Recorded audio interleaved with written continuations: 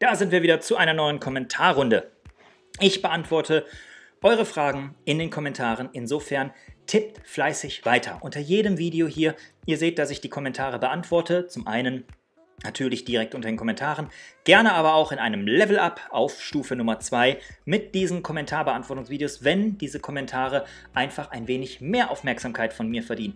Und manch eine Idee, manch ein Kommentar schafft es sogar ein komplettes Video daraus zu machen. Gibt es auch immer wieder, also fleißig dabei bleiben, denn ihr schafft es damit, einen gewissen Einfluss auf diesen Kanal zu haben und das Ganze mitzugestalten an Videos. Und da bin ich natürlich auch dankbar für. Also danke an euch da draußen, weiterhin fleißig schreiben. Und jetzt gehen wir auf eure Kommentare wieder ein. VUniQ2YT fragt, wenn ich drei Tage trainieren kann und einen Dreiersplit machen möchte, was wäre denn der beste Split? Schreit ja eigentlich nach einem Dreiersplit, richtig? Also, wenn du totaler Anfänger bist und zum ersten Mal eine Hantel in die Hand nimmst, dann würde ich sagen, mach es nach einem Ganzkörper- oder Zweiersplit im höchsten Fall, aber trainier dich erstmal warm damit. Ich verlasse so etwas schon mit meinen Klienten nach drei, vier Monaten. So manch einer sagt, oh, man kann das aber doch jahrelang machen. Ja, aber wenn man es ernst meint, dann kann man auch direkt zum nächsten Level übergehen und das ist das nächste Level. Also, totale Anfänger machen Ganzkörper. Und übertreib da nicht. Wenn du aber nicht mehr ganz äh, kompletter Anfänger bist, dann scheiterst nach einem Dreiersplit. Das ist auch das, was ich empfehle oder wo du dich zumindest später einpendeln wirst. Trainiere den Muskel erstmal nur einmal die Woche, dann wirst du immer noch feststellen, ist dir das viel zu wenig, kannst du die Intensität steigern und dann ist es doch genug oder ist selbst das zu viel. Das wirst du dann merken und deswegen würde ich sagen, mach einen guten Dreiersplit. Hier siehst du das Video Dreiersplit, da kannst du dir mal einen anschauen und dann kannst du danach trainieren. Was du allerdings auch machen kannst, ist natürlich ein Zweiersplit, wo du dann Trainingstag A und B hast. Und wenn, selbst wenn du dreimal die Woche trainierst, kannst du A, B, A machen und in der nächsten Woche B, A, B und danach wieder A, B, A und so weiter. Du kannst auch A-rhythmisch trainieren. Das macht dem Muskel nicht das geringste, denn der geht nicht nach dem gleichen Kalender wie wir. Also insofern hoffe ich, dass das die Frage bereits schon beantwortet. Und der Rest ist dann natürlich auch, was dir später am besten gefällt. Es gibt ja Leute, die auch immer wieder behaupten, denen gefällt ein Ganzkörpertraining. Ich kann es nicht ganz nachvollziehen. Ich trainiere gerne jeden Muskel richtig ausreichend und erschöpfend. Und ich glaube, die meisten, die das ausprobiert haben, bleiben dann auch dabei. Aber gut, das ist eben Geschmackssache. Probier es einfach aus. Das hier wären meine Empfehlungen. Next. André Pausch Super gut erklärt, jetzt bin ich neugierig und macht Laune, dir zuzuhören. Ich habe da eine Frage. Ich habe damals meine Trainerlizenz gemacht und mein Lehrer meinte, man kann nur während des Trainings eine Sache machen. Um ein Beispiel zu nennen, heute trainiere ich die Brust und gehe in den Bereich Ausdauer, das heißt höhere Wiederholung wahrscheinlich. Dann sollte man nicht auf Maximalkraft gehen oder gar alle Bereiche abdecken. Kraft, Ausdauer, Muskelaufbau und Maximalkraft. Eins nur im Training, mittlerweile würde ich deine Meinung dazu wissen. Ich sag mal, du, wenn, ja, bla bla bla bla bla bla bla. Grundsätzlich, dein Trainer hat, glaube ich, ja, jetzt bin ich mal fies, schon lange nicht mehr das verfolgt, was so gang und gäbe ist im Training. Nein, man muss sich nicht auf nur eins konzentrieren, ganz im Gegenteil.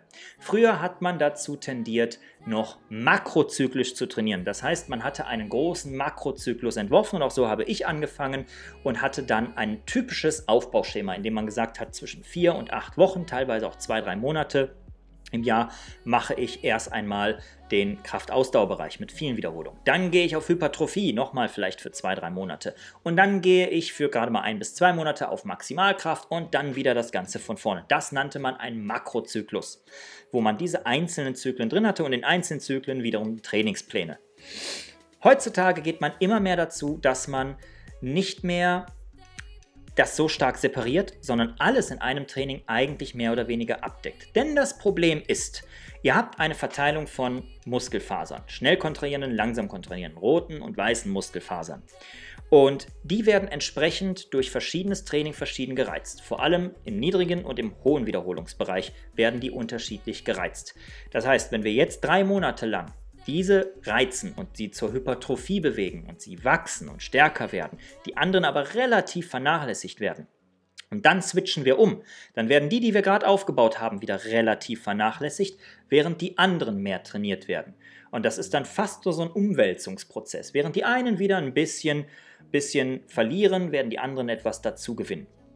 Und dann fangen wir wieder von vorne an. Macht eigentlich nicht so viel Sinn. Es macht auch Sinn, dass man zum Beispiel weiterhin seine Kraft behält. Denn Kraft ist eigentlich nichts anderes, als dass man maximal viele Muskelfasern in zeitgleich rekrutiert und anstrengt. Das ist vor allem ein körperlicher Lernprozess, noch mehr als unbedingt Muskelwachstum. Und das sollte man nie vernachlässigen. Das sollte man immer drin haben. Das heißt nicht unbedingt Maximalkrafttraining, habe ich auch nie gemacht, mit einer Maximalwiederholung gearbeitet, aber doch schon teilweise auf vier, fünf Wiederholungen runtergegangen. Und das ist etwas, was ich als allererstes gelernt habe in meinem Training. Ich möchte diesen Kraftanteil nie verlieren, der soll immer eine solide Basis bleiben. Die Kraft muss immer da sein, gerade bei Hardgainern und gerade bei Naturalathleten. Sollte es immer eine Basis sein, dass ihr kräftig seid. Macht ihr also nur immer Hochwiederholungstraining und habt nicht diesen Kraftbereich, fangt sogar vielleicht sogar schon mit diesem Hochwiederholungstraining komplett an, dann werdet ihr nie so viele zum Beispiel Satellitenzellen errichten können. Ihr werdet nie so viel Muskelfasern gleichzeitig zu aktivieren lernen und das hilft euch später ungemein. Eher würde ich so machen, dass ihr in den ersten fünf Jahren eures, eines Trainingslebens viel mehr im Kraftbereich trainiert, also irgendwas zwischen vier und zehn Wiederholungen und später werdet ihr davon profitieren und dann könnt ihr eigentlich in jedem Bereich trainieren und werdet den nicht mehr so schnell verlassen, denn ihr habt einmal diese Satellitenzellen aufgebaut. Aber nicht unbedingt das Ganze umgekehrt machen. Heutzutage, irgendwann habe ich mal angefangen, einen sogenannten 3-2-1-Trainingsplan zu machen, der irgendwo vorgestellt wird in irgendeiner Zeitung. Ich weiß nicht, ob es die Flex waren, BMS-Zeitung oder was auch immer. Und da wurde dann eben gesagt, mach drei Sätze im niedrigen Wiederholungsbereich, zwei Sätze im Hypertrophiebereich und einen Satz immer pro Training, pro Muskelgruppe im hohen Wiederholungsbereich.